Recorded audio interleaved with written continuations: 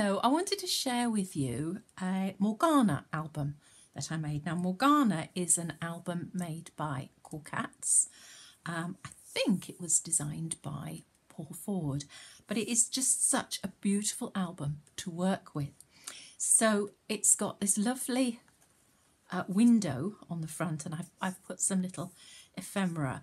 I've used the um, Graphic 45 Merry and Bright papers and if I open it up you can see the first page is just a large pocket. The reason for that is you want to be able to see your page through um, and then the bottom of this uh, large tag I've used the Graphic 45 rub-ons. So that's very simply the first page. In between the pages you've got these which are a bit stiff coming out, there we go. Um, so in between each page, you've got another little or a, a large tag. So this is the first page and you've got a little tuck pocket on the front there and I've just used a piece of ephemera to make the tuck pocket. And then you've got another page in there and again I've used some of the rub-ons for that. So that just goes down trying to do everything upside down. There we go and then that just goes around like that Oops. to hold that in place.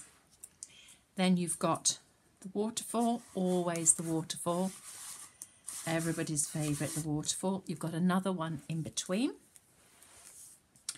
Here I've used Paul Ford's idea of the um, corset fastening. So open that up and there's just a little pocket in there and I just thought the little corset fastening was just a really nice way of finishing that page off in a slightly different way. It's the first time I've really had a go at the corset fastening so that was really nice to do. So I've got a deep page here as you can see and again I've got a little um, rub on, that's the word I'm looking for. And I've just noticed I need a little bubble on that. I will do that this afternoon. And then you've got a little tuck spot and you've got a, a little photo book there.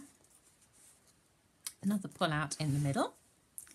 If I turn this over, you can see we've got a pocket page and then I've made a little tuck spot out of some of the ephemera and this opens up and you've got some more pockets in there and I've decorated that up with some of the ephemera as well. Here you've got a, um, a large photo slot. The book was getting a little bit bulky so I needed a flat page so you've just got the photo slots and I've used some of the stickers just to decorate that. And I've done the same on this side and then finally pocket page there. So I hope that you have enjoyed the book. Please subscribe if you aren't already. Put a comment on. This particular album I'm going to be doing a tutorial for. So watch this space. There will be some tutorials and to do the tutorials I will be using because I've had this for ages and haven't got round to using it. The Graphic 45, just trying to get some out for you to see. The Graphic 45 uh, Mother Goose papers. So we'll be doing that Morgana album with the Graphic 45 Mother Goose papers and we'll see how that goes. Right, thank you very much for watching. Please add a comment or do a thumbs up um, and share as much as you can. Thank you very much indeed. Bye-bye.